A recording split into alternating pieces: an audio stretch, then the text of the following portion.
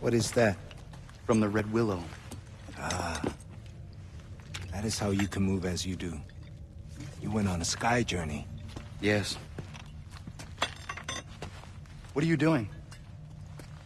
If we want to defeat Washington, I will need the strength from the animal spirits.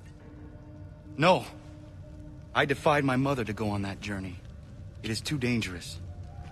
I have no choice. But you're risking yourself for nothing. Even with the help of the wolf, I was taken captive. You don't know anything. Every journey holds a chance of meeting a new animal spirit. Wait. Every journey holds a chance of losing yourself. I understand the risk. I will take the journey.